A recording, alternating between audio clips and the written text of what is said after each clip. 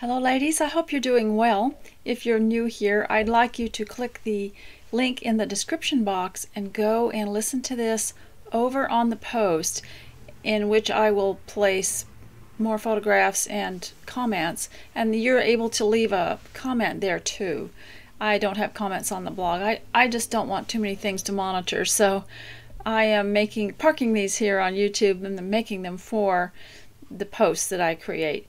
And my name is Mrs. Sherman, and I'm a veteran um, homemaker, homeschooler, and I have got some things to say that might keep you company while you go about your work. I know there are a lot of videos to watch which show you how to do things, but sometimes we just need something to listen to to pace us along when we are doing uh, routine things. Before you go, I'd like to show you my teacup today is just one of those old Corelle livingware or Corningware they used to call it, almost indestructible. It isn't a fancy teacup, but my my family loves these. They stack so nicely and they look really pretty when they're stacked with the way that the handles are curved around, but they really do serve a nice cup of tea, juice, water, coffee, whatever, and I didn't have anything today that went with a my dress or the room and I'm in the guest room in which we have placed all of grandmother's old stuff. I've got her old furniture. She bought it secondhand when she was alive, so that's how old it is. And then I'm also using the same bedding, the same coverings that she had. I could never find anything I liked better to replace it, and so we have created a, a little guest room here. I'm not sure which grandchild is going to stay in it, but I have a little basket back there on the bed that I'm going to fill up with some things that they might enjoy. Also, I have something to show you about, uh, you know, my decor and cushions. Uh, you might wonder, well, you must really have a wardrobe of cushions because there are so many different colors and you change it all out, but really I don't. I order something called a cushion cover this one's in white and it's cotton. These are made in USA and they have a zipper across the top. And I can order the cushion covers, which a big stack of them hardly takes any room at all, and just use the same cushions over and over. So I covered that gray one you just saw. And uh, can also use them and make your own and make your own covers. I thought you might enjoy knowing about that. It's just uh, not an expensive thing to do. And today uh, one of the things that I want to tell you, there are three areas of this, and I like to include a few other things also. But the first thing, of course, is to get prepared for your day. It's not just getting dressed and getting dressed up and trying to look your best. It's also getting your thoughts in order and getting your mind focused and I have found, everybody's different, but I have found just doing five minutes uh, of exercises. I'll go on YouTube and find somebody that's um, demonstrating exercises uh, for women. And I also have a way of adapting these exercises. If I don't feel like standing up and doing a bunch of uh, rigorous movements, I can sit down and adapt all the exercises. I can just move my feet on the floor and, and um, pretend that I'm walking and I can adapt a lot of their exercises to to seated but I do feel better and more focused. And there are several of the teachers that will uh, tell you how much your mind is connected to your activity and how helpful it is to do some of these stretches and exercises. And really you really do feel like you're not floating in life without any direction. If you have something like this to do when, before you begin your homemaking. And if you have a problem and you don't have a list and you just really can't focus on a list, what I would suggest uh, that works sometimes is to go through your house from one end to the other and just look for things to do. And to teach your children this too, if they are meandering around and they don't quite know what to do, just say, look around and find something, observe what needs to be done. And most of the time, children will learn well by seeing that things that are out of place have a place and they can adjust that. Now, one of the th reasons I suggest dressing up is just from a historical point of view. back in the olden days, no one would hire anyone to work for them who came to work dirty, slothful looking, um, without their without the buttons buttoned up and the shirt tucked in and the laces on their boots tied because they they thought that the person's appearance had a lot to do with how they would perform at work and that if they had a slothful appearance they might have a slothful attitude towards work. Not that it was ever scientifically proven but that was what was thought. But i think it's a good thing to take that principle with you into your home that how you approach your work might have something to do with how you're dressed. And you can test this out. You can um, and all of us have probably tested it out accidentally by noticing how um, much more upset people are in our home or how much we are upset when we haven't had a chance to really get ready. We haven't had a chance to dress, to uh, say our prayers, and to plan our day or at least pray over our list. And uh, I, I got up this morning and I had a list that I just didn't have a hope that I would get done. But as my mind settled down with some of the other rituals that I had uh, to do, such as my exercises or my list, uh, I started to have a little hope. so go from one end of the house to the other if you don't have a list and see what needs to be done. And also, you know, uh, there are several scriptures that I ran across that I don't emphasize these as much, but I wanted to tell you about them. And one of them was um, Colossians 3:23. This is all about uh, your hands and the effort you put in in your life in your work. And Colossians 3:23 said, "Whatever you do, work heartily as for the Lord and not for men, knowing that from the Lord you will receive the inheritance as your reward." You know, it's always nice to have people that we're we're trying to serve and we're trying to please. And it's nice if you get compliments from your family, from your husband. But what if they stop doing that? Or what if they don't? Or uh, what if they don't notice? And so you always have to have that higher goal to work towards, and that is ultimately you're you're really serving the Lord. And that's a really good defense too. If you get around people who think you're doing it all for someone else that doesn't appreciate it or um, that it's wrong to uh, try to please other people is just say, well, basically, um, there's someone else that I'm trying to please, and that's my God. And so when you have those higher goals, you uh, there's more motivation, I think. So that was Colossians 3:22, 23. Whatever you do, work heartily. You might want to look up that word heartily. This means from the heart as for the Lord and not for men, knowing that from the Lord you'll receive the inheritance as your reward. I had that phrase in my homeschooling a lot that if they were to do well, then they must do it with the heart, heartily. And I always tried to choose subjects that would delight their heart, that would help them learn. I tried to make it easy to learn and didn't put them through agony over education. Uh, so that it becomes very natural for them. And that's what I'm trying to do for you too, because that's what I'm doing. I'm homeschooling you. And uh, I'm teaching you to be self taught so that you can learn without having to have a teacher. And so then the other one was Ecclesiastes 9, verse 10 Whatever your hand finds to do, do it with your might. And that is so interesting. I wish I had been taught that as a child.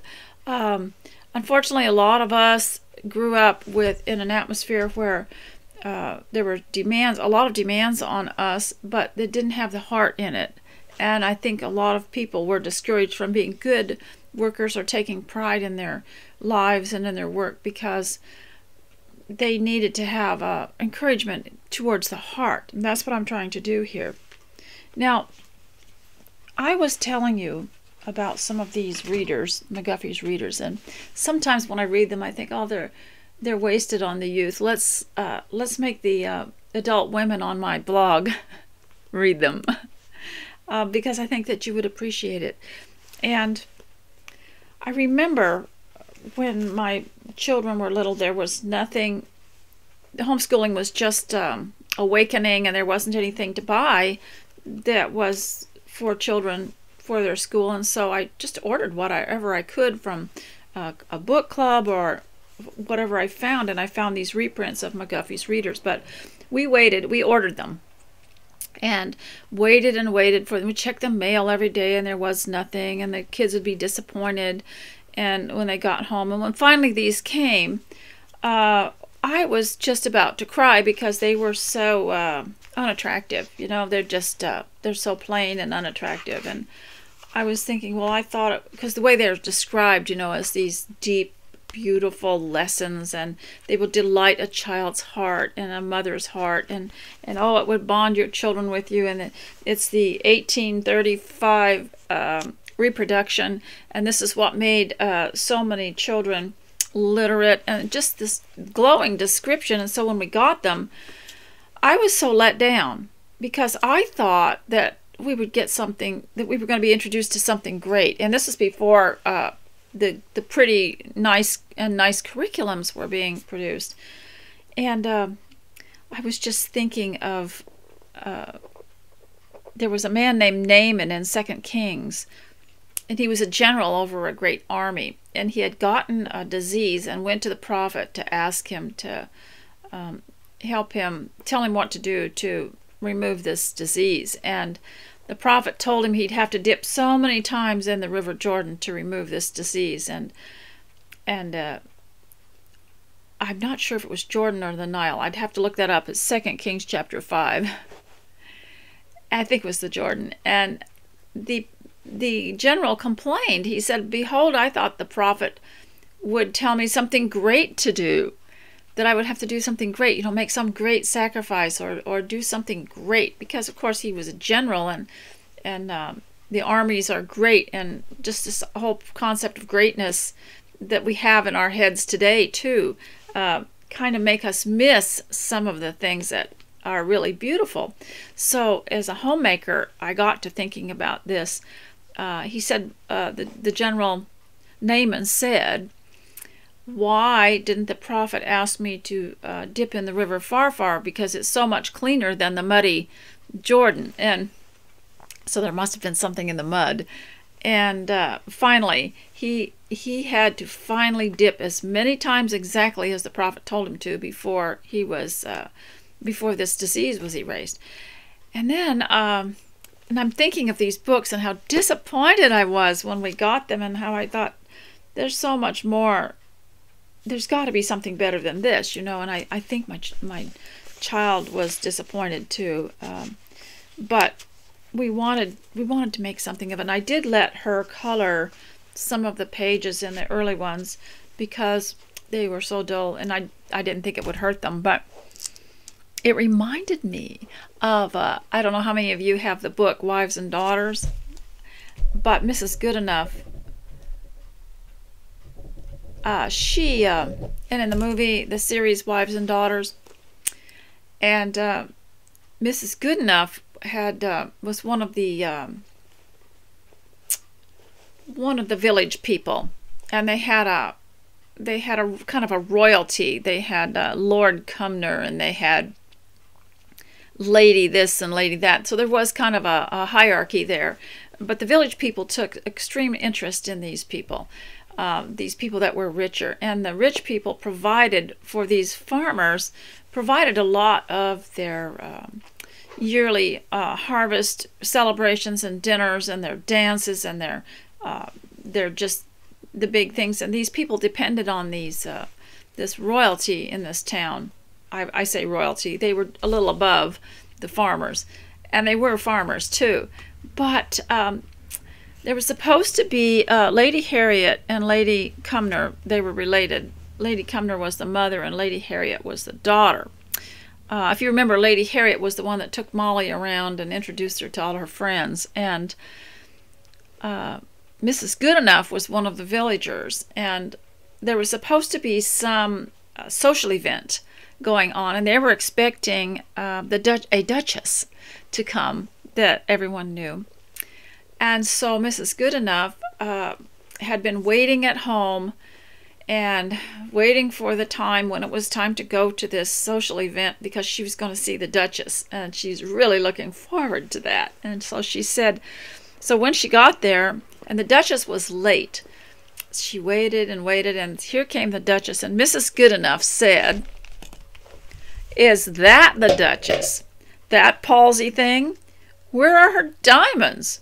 Here am I, sitting up in coal and candlelight, wasting at home. And in comes the Duchess wearing. Farmer Hodson's daughter has a dress smarter than that. and she was so disappointed. She said she could have at least come with her coronet or come with, you know, something fancy with her jewelry. She could have at least worn that. You know, I've waited all this time to see the Duchess, and she didn't have anything spectacular to see. Well, that's the way I felt about these when they came. I we'd waited all this time. We'd been to the post office, and I think my children were extremely disappointed, thinking, "Is this what homeschooling is all about?" And they'd look at this dull little thing. But over time, I saw uh, the gold in it, and especially now. And I have read this story to you before. I have two stories to read to you today. So while you're working, you can listen to this uh, story.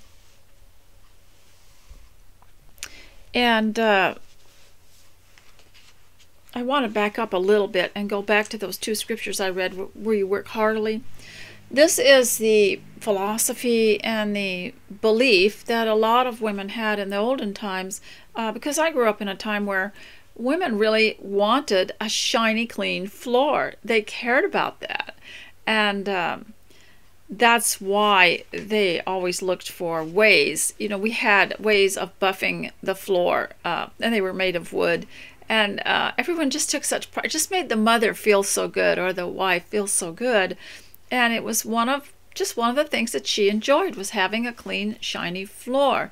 And um, income, and I was I was in an era where things were changing, and there was a lot of influence of the um, of the more progressive people, and in comes people uh, from uh, the educational establishment, and they would say things like, "Is that all you women um, think about? Is having a clean, shiny floor?" Because they thought that it was more intellectual to um, think about world changes and politics, and and that they looked down on anyone who thought that it was important to have a clean sink or a, a beautiful, shiny floor and uh, they would even mock it. But some of these people who had come out of colleges just couldn't even pick up after themselves. They, to them, doing laundry and cleaning the floor was demeaning. It didn't. It wasn't uh, important, and it didn't have uh, an intellectual slant to it.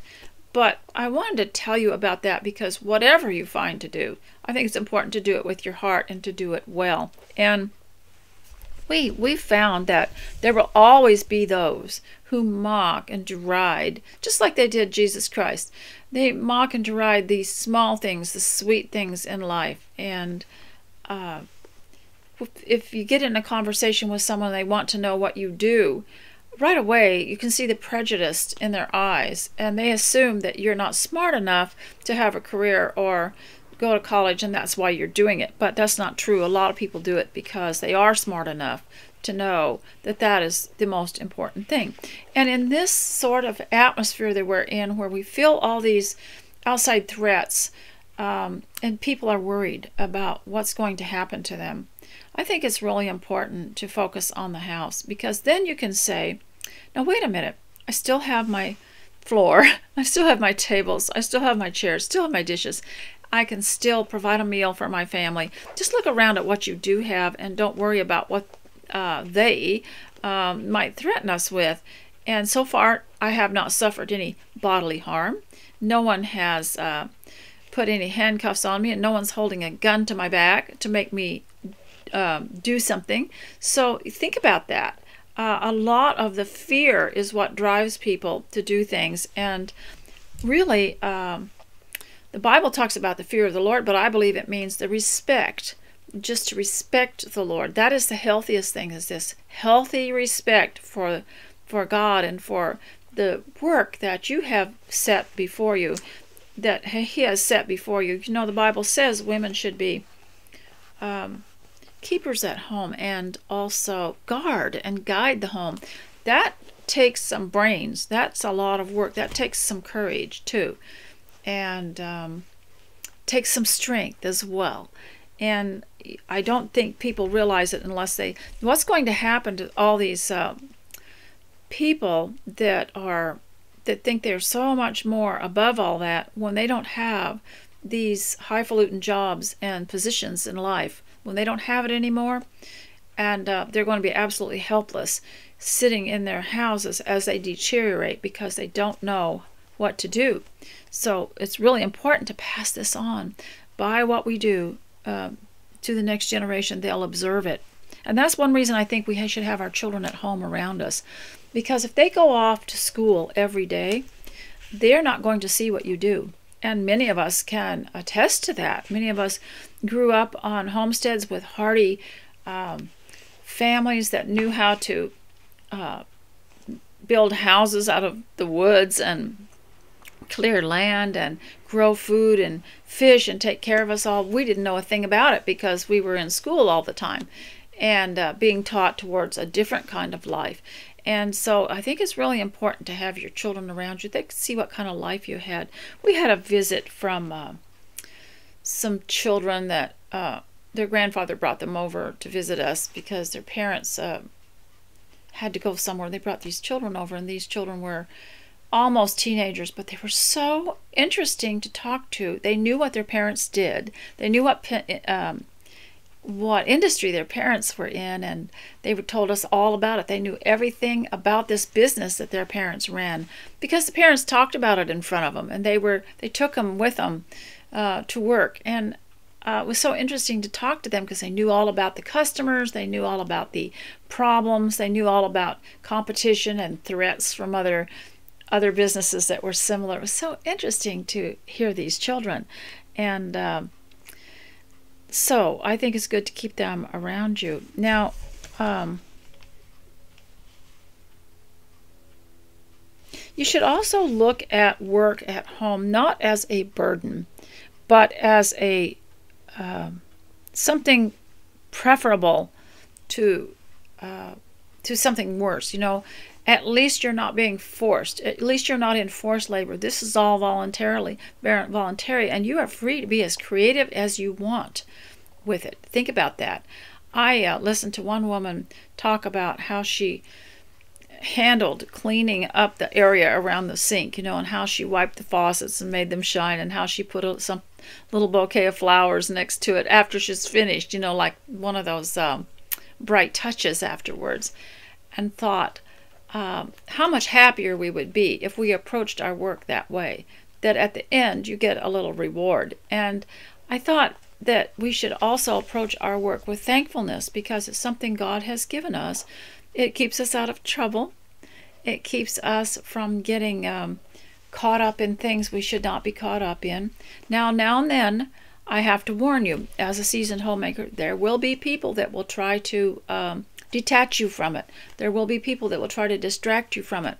They don't want you uh, to be successful. And there will be people that will say they um, they need you to help them with something. And I have come to the point in my life now. Everybody's different, where I think that um, it is enough for me to take care of my descendants. Already, I can see I'm not going to have time for everybody else or for the church members and for everybody that claims to need some kind of assistance. They either have a husband, a father, a brother, a son, or, or children and grandchildren, or neighbors or friends, and they don't really need to depend on the homemaker. I've known for years homemakers have been sometimes used, you know, uh, because some of the working women could not uh, take care of their children after school, or they um, needed her to go get them something, and uh, knew that these women were were more mobile, more free. But I don't think that's necessary. You really have to watch out for that, especially if you're the helpful type. You know, they know uh, they know how compassionate you are and the helpful type. They can become you can become a target of someone who just wants to keep you busy doing things for them because you're supposed to, because you're a kind person or you're a Christian, and you have to be very careful not to neglect your home or your own family or your own children. There will be, if you know how to sew, there will be people that will want you to sew for them. Uh, now, they may offer to pay, but at the same time, you have only a limited amount of time with your children and energy also. And when they're grown, you're going to wish that you'd spent that time sewing for them, doing things for them. And I have known women who got into home businesses and their house is an absolute wreck because that business took priority. And their children run around not uh, ready for the day not prepared for the day and uh, just grabbing things to eat here and there and not not ever having um, a stable home life because this business took over. And we just have to be so careful with distractions and with other things. Your life is beautiful enough with the regular homemaking with the regular housekeeping. Life is beautiful enough uh, without adding uh, more things to it. And uh, I had a mother-in-law that was, um, she's quite elderly, and she, I noticed uh, during the times that the time that I knew her from the time I first got married, how what she would call nonplussed she was. No one could shake her. Someone might say to her, You know, of course, there's going to be a Great Depression. Well, she'd already been through the Depression of the 1930s and so had my mother. And uh, you couldn't shake these people. And now I understand why there are some people who are not uh, in a panic over anything that the uh, the globalists and the state and all these politicians do. That they're not in a panic over it because they've seen it all. They've seen them do this kind of stuff before and fail. And uh, and they all they know that mankind always has hope. And uh, they could look around and say, well, I still have my uh, my children, I still have my husband, I still have my house, I still have. Uh, most of us can say that God did take care of us, but you could never shake these women. You would say, "Oh, there's going to be uh, there's going to be a drought, there's going to be a food shortage, there's going to be gas shortage, there's going to be this or that," and they they wouldn't have any meltdown, they wouldn't panic, they just look at their list and say, well, I guess I had better wash the dishes. And you know, there is no use worrying about it. And if you're listening to the news and the media, look, they're not helping you. They're not helping you get anything done. They're not helping you get that sewing finished. They're not helping you get your room redecorated. They're not help, helping you get your nutritious meals planned. Um, they're not helping you uh, teach your children or taking care of your family. They're not helping you.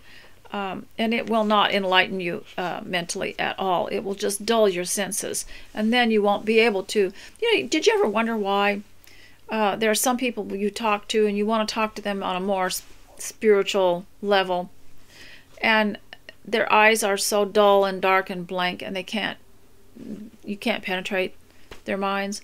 They are so full of the world's um, knowledge and the world's media that they cannot there's no room for it. So that's what you have to be careful of. Now I'm going to get to these McGuffey readers now.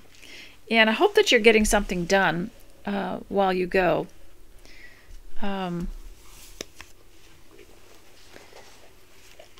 and that is uh, these dull readers that I was so disappointed in because I thought, well, well, like the Duchess, that she could have at least come in her diamonds. I thought, well, it could have at least come and been prettier. Okay, so this is a story I've read to you several times, and it is the first McGuffey's Reader. I imagine a child would be in, I don't know, they weren't by grade, like this didn't mean grade one. It was just, they were just gradual, and, and so like, for, for example, the fourth McGuffey Reader, well, the child might be in sixth or seventh grade by then. Okay, so the illustration here, I'll show it to you, is a, a little girl, uh, and she's sitting in a basket with her brother, and it's the laundry basket. And uh, they're pretending, they're playing, they're playing. Mama, there's no uh, title to this story. It's called Lesson 15 or something like that. And throughout this book, there are slate work assignments. In other words, uh, you had to learn in handwriting and cursive and write it on your slate. Now, you all know what a slate is, don't you? You'd pick up this clear piece of uh, vellum and pull it up, and it would erase everything. Then you put it back down, and you could write over it with a stylus of some kind. And uh, so here is the story. It doesn't have a title. Mama, will you go to town? Well, said Mamma, what do you ask for a ticket on your train? I think this would be a nice little play. Oh, we will give you a ticket, Mamma. About what time will you get back? At half past eight. Ah, said Mamma, that is after bedtime. Is this the fast train? Yes, this is the lightning train. Oh, that is too fast for me. What shall we get for you in town, Mamma? A big, so she replies, a big basket with two good little children in it, because they're sitting in a basket playing. Now, isn't this just what a mother would say? All right, time is up. Ding, ding. Uh, and, you know, this is where uh, these stories are where children will get their ideas for play and where they get a lot of their early experiences. And there are people today uh, who will look at my generation or the generations before. I remember my generation, people accusing the previous generation of having ruined the world for them. but you know, if you're a mother at home and this is all you're doing is playing with them and they're sitting in a laundry basket playing train, you are creating a wonderful world for them. You're not ruining their world. You're giving them a solid childhood, some stability. Uh, children need lots of time, and you're giving them, and you do too. You know, you it's not too late for you. Uh, we need lots of time to think and look and be quiet and be still, and it stirs the uh, the thinking to play like this, and you're giving them something very good because as the hard times come uh, in life, these children who are growing up will not panic or have the meltdowns that some generations have had because they are not, not always in an upheaval. That's why I think they should be at home and have the time they need to think, to play, to rest. And this is just a beautiful story. Well, now I have the other McGuffey readers, and it's the third McGuffey reader. And now, I'm not saying everything in here is sound because I could, as I was reading through the other day, I thought I see some, I see some potential um, propaganda in it. You know, they were trying to uh, uh, change.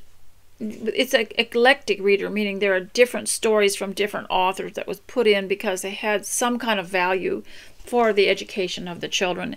And I could see some that I didn't like as well as others because I didn't like the teaching, but I'm not saying it was wicked or evil, but I could just see a source of it there. Now, this one uh, is called Beautiful Hands. I have read this to you before. I might uh, write out some of these things and put them on my post. So just like the uh, the last couple ones that I read, I'd like to just type them out. Uh, and there's a picture that goes with this, and uh, it's a woman and a girl. Oh, Miss Roberts, what coarse looking hands Mary Jessup has, said Daisy Marvin as she walked home from school with her teacher. In my opinion, Daisy, Mary's hands are the prettiest hands in the world. Why, Miss Roberts, they are as red and hard as they can be. How would they look if she were to try to play on the piano? I remember the old people used to call it the piano. Isn't that interesting?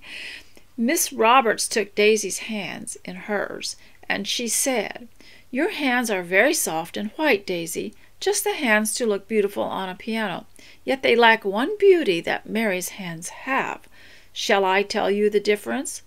Yes, please, Miss Roberts. Well, Daisy, Mary's hands are always busy. They wash dishes, they make fires, they hang out. Now she's talking about building a fire in the stove for the heat. um, they hang out clothes and help. These were written in the 1800s, so they're portraying a more uh, agrarian, um, homestead type lifestyle. They sweep, they dust, they sew, They wash clothes. They are always ready to help the poor, her poor, poor, hard-working mother.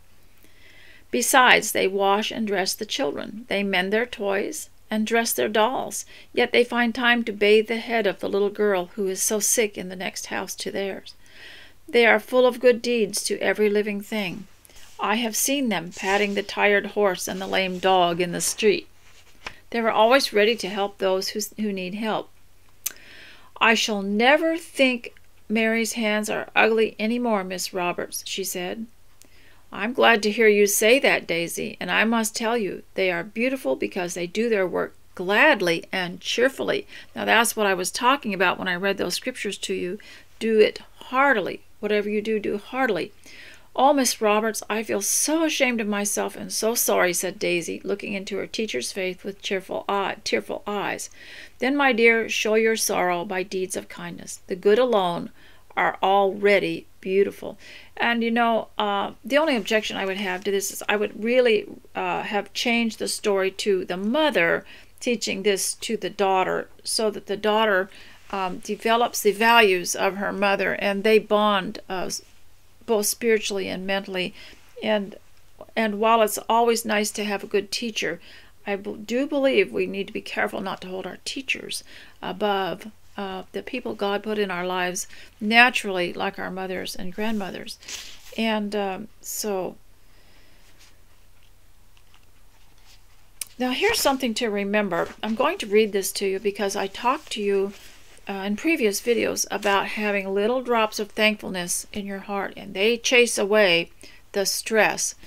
And after a while, after you learn to substitute these little thankful things, these little rituals, uh, you're going to find that automatically when you hear some disturbing news or you read it, you read a disturbing headline, you just kind of shrug and laugh at it and click it off. And um,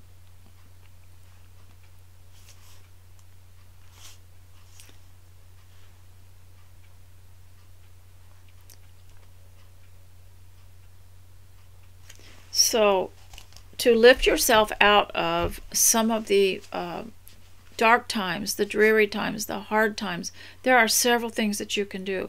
And in reading these, I just got to thinking you could you could escape you could have an escape mechanism you could work in your home and make it beautiful you could redo it i i often redo the colors and change everything out. You can redo your house, create a new atmosphere.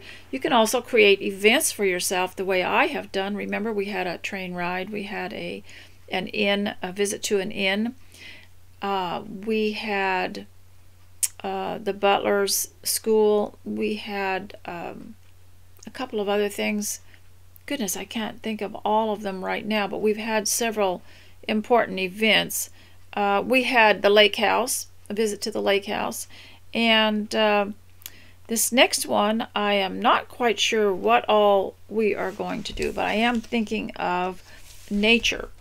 I am thinking of these last few days of summer of uh, the nature basket and filling it up with things. I'll have a, a scavenger hunt and I'll have a list for everyone to go out and find things that are natural that God made and, and we'll bring them in and we'll make an arrangement in a little bowl and we'll talk about them or um, maybe look some things up and learn something. I'm not quite sure what all we will do, but I want to create a memory that they will look back on and say, those were some of the happiest moments uh, of my life. So, and you know, ladies, it's not too late for you. You can do all these things that uh, that we do with the children. You can get yourself some of these and you can read them, and then every day you just read them and you, you can just be a student. You can be self-taught. Well, here's a good one for you. I know this is the uh, third eclectic reader, and we think of the children being um, around nine years old. But look, this is good for you too. Maybe you didn't learn it. So, this is called Things to Remember. And there are words to learn to go with it. Now, uh, my daughter likes to be a, a real teacher, so she takes she makes them read the words and she takes them through the words, and then they have to kind of find them throughout the text. I'm just going to read them to you. Uh, the words are prevent, forgive, protection, manners, satisfied, peevish. And uh, so you, you will notice these come up in this story.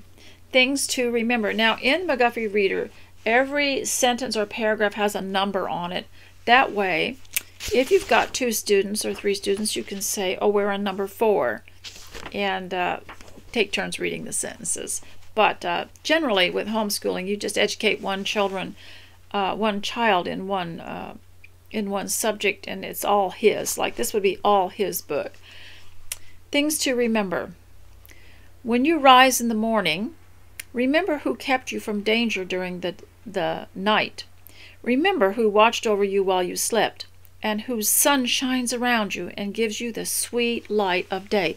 Now, ladies, this just triggers a memory or or some little event, some big event that's been going on around here for decades, and that is we're in a we're on a farm, and every farm has a farm road going past their house or their land, and sometimes in the farm roads there's a little what I call a little turnoff, and it's just a half moon shaped road where you can go in to the land and out back onto the road. Okay, so for decades there's been so much noise over there as people drive their cars real fast into that little turnoff and back out again, or they stop and they uh, they loiter, and some of them even uh, spend the night and camp, you know, squat, camp on ground that's not theirs, and just um, yell and, and drink and just awful, you know, and leave old cans and bottles around. And for for years, I have hated the noise that they make at night and just the sound of those cars going in and out and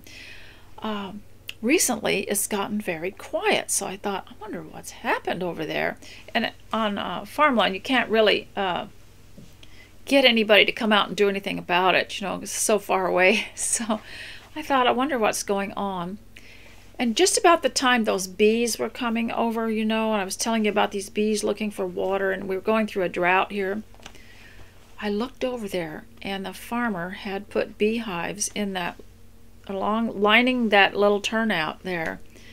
And uh, I pointed it out to somebody, and he said, Well, that was clever. I don't want to walk through there. So uh, those bees apparently are keeping people out of that. I thought that was so clever. He didn't even have to call the sheriff. he just put the bees there. And the bees, I think, are quite harmless, but they do uh, swirl around a lot and, and make a big commotion. And uh, no one wants to be bothered. They won't sit there with the windows down in their cars. They won't loiter. They won't camp out over there. Uh, and then we've had some peaceful nights. And it's usually in the summer that all this noise happens. So, okay, number two. Let God have the thanks of your heart for his kindness and his care. Remember, I told you before little drops of thankfulness, just little drops of thankfulness. And we think it's silly because we've been uh, around worldly people who are so jaded and so sarcastic. They say, You're thanking God for that little flower, you know, like that's really dumb, you know. But listen to this let God have the thanks of your heart for his kindness and his care and pray for His protection during the wakeful hours of the day.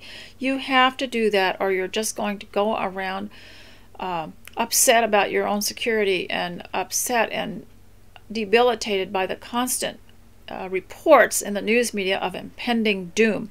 Now, there was a, a general, his name was General MacArthur, and I believe it was during World War II. And uh, one of the reasons he was recalled uh, by the powers that be was that he had made a statement in an interview that there was always a uh, perceived enemy and people had to be constantly upset uh, because we they wanted us to be at war constantly. So they created these new enemies. They created these threats and they uh, and it was just to get the money flowing for the machinery and uh, to make other people rich, to uh, to keep war going, uh, to make a profit for some people. Well, he had made this statement that sounded something like, "Always there is a uh, a created, uh, an invented enemy to keep people uh, agreeing to wars." And so, of course, he was recalled, and I'm, I, I had heard or read somewhere that his wife was a very religious lady who believed in Christ, and uh, or it was his mother, I'm not sure, but uh, had an effect on him. Number three, remember that God made all creatures to be happy, and will do nothing that may prevent their being so without good reason for it. That might be something you want to ponder on. You know, this isn't just for little children. This is for you and me too. I think I should uh, homeschool you, and you should get um, McGuffey's third reader, and that you should do the assignments in it. Uh, and the assignments. Uh, now, as the readers got more uh, advanced, there were assignments and questions at the end. Uh, I'd like you to do that. When you are at the table, do not eat in a greedy manner like a pig. Eat quietly, and do not reach forth your hand for the food, but ask someone to pass it to you.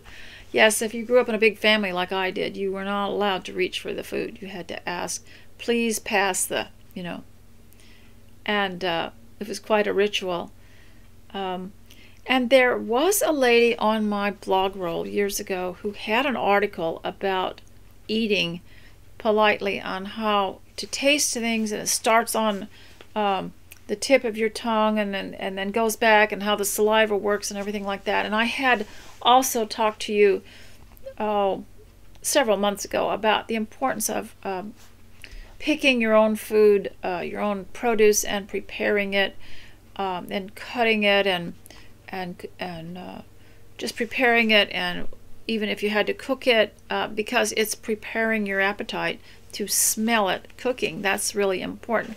It's one thing to eat at a restaurant, but you're actually not uh, experiencing all the stages of food preparation that are important for your mind and uh, your digestion. We miss out on a lot by being dependent on ready made things.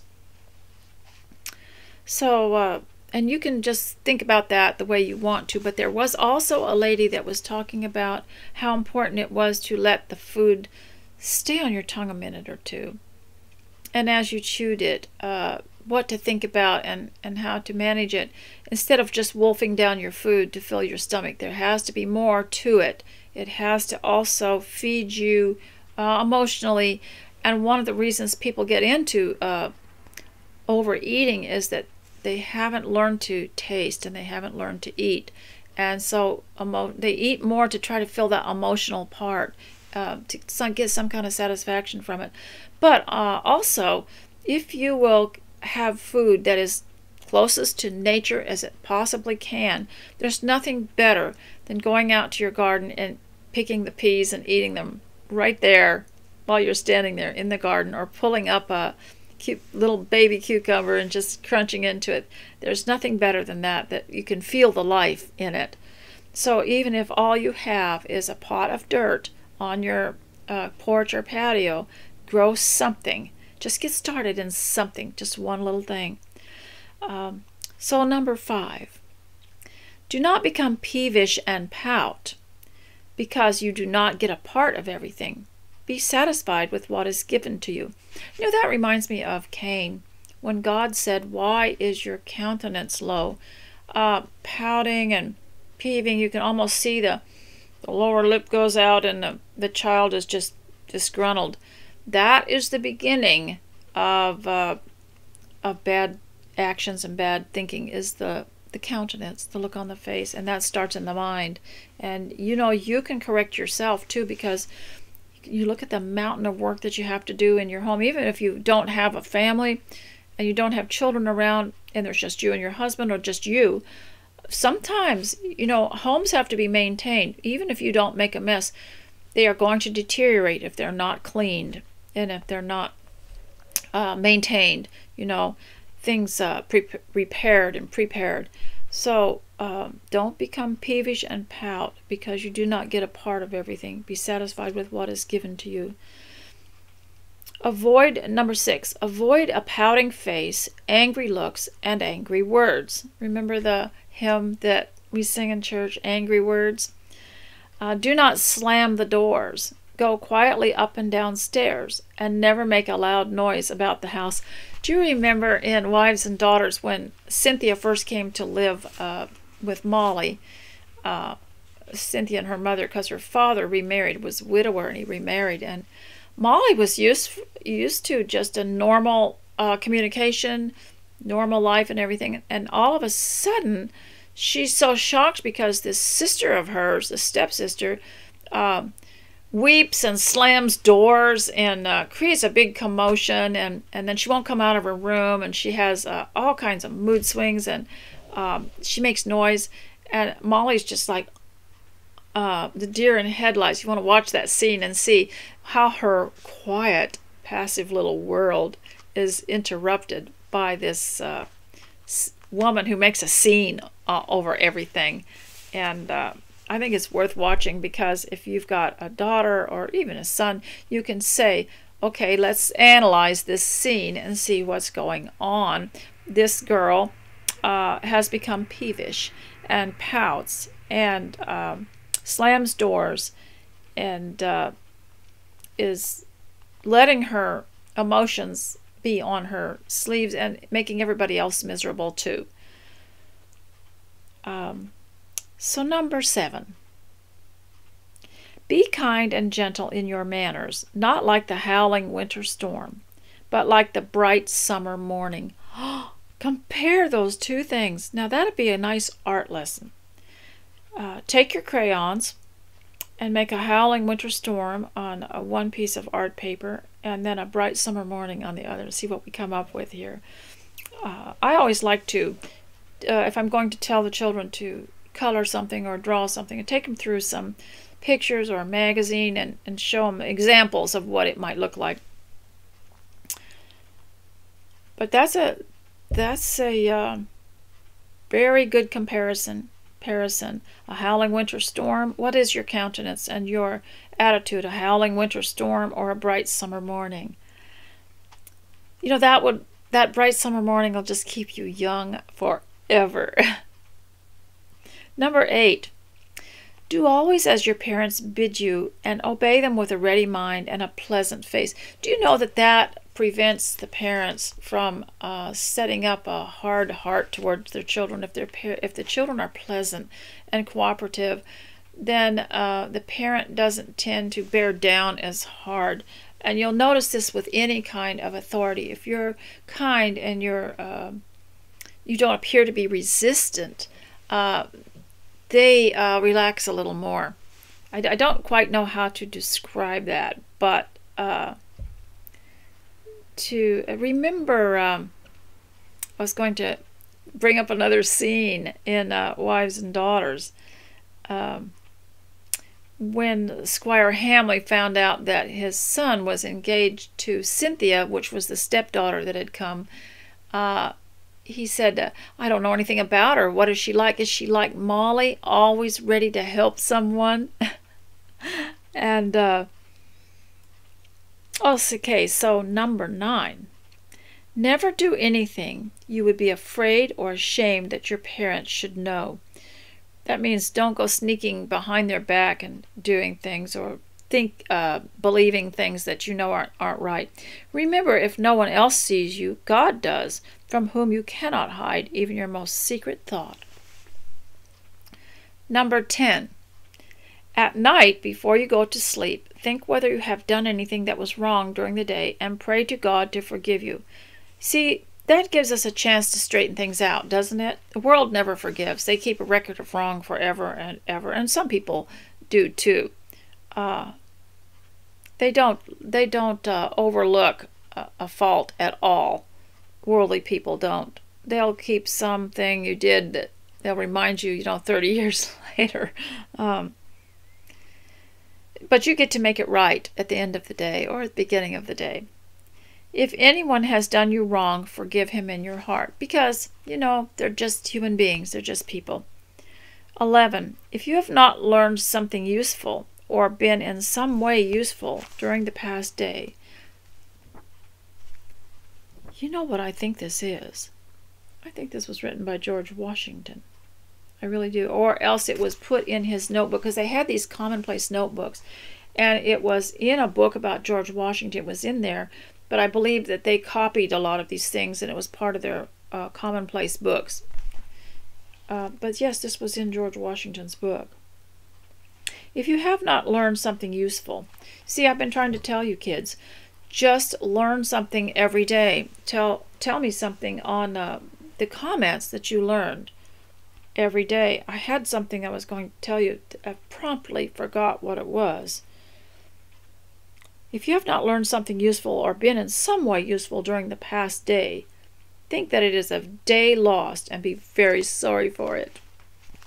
Yeah, you know, as you get older, you realize you can't recall those days. They cannot come back.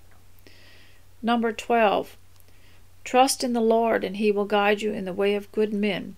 The path of the just is as the shining light that shineth more and more unto the perfect day. There they've quoted a scripture. 13. We must do all the good we can to all men, for this is well pleasing in the sight of God. He delights to see his children walk in love and do good one to another. So, ladies, uh, some of this is pretty good. You know, you could, eclectic just means a sorted variety. You could just write your own and put things in it that you would like uh, you to learn uh, and create your own. Um, mostly this is about uh, adventures that children had back in the 1800s that you probably probably a child would not relate to today and you probably wouldn't want him to go jump in the river today. Uh, this was about rural children. So, if I could lift uh, lift myself out of any kind of oppression, I would uh, write stories or do assignments. Now, what an assignment is, is it makes uh, something more meaningful. I might have a book there or a magazine I bought years ago that has an activity in there that I just thought was so interesting. And I just flip through it and kind of look at it, you know, and put it away. Well, now I'm picking them up and I'm saying, okay, I'm just going to put a marker in there and make it into an assignment. I'm going to try to do it. Now, it doesn't mean that I will uh, actually succeed, but I'm going to make an attempt because it gives it uh, it gives it more meaning to have a like a uh, a list of things to do that you that are necessary for running the home today. Gives it more meaning if you have uh, some kind of organized list or if you have made assignments for yourself. It just uh, brings it to uh, more importance. Now, being self taught means that you must tell you what to do. I know a lot of people have mentioned uh, mentors. They want a mentor, but what they really want is someone to tell them what to do. And uh, they enjoy this. But what if you didn't have anybody? Then you're going to have to be self taught. So you're going to have to write your list down and then obey it. And I was talking to a dear friend the other day and I asked her what she was doing. She says, I'm I've made a list and I'm doing it. I'm obeying my list. And um, so if you could try to do that, it gives a little, it gives a lot more meaning to your homemaking and you can get a lot further. Now, I think it's really important not to rush through everything uh, just so you can go somewhere just so uh, you can get it out of the way.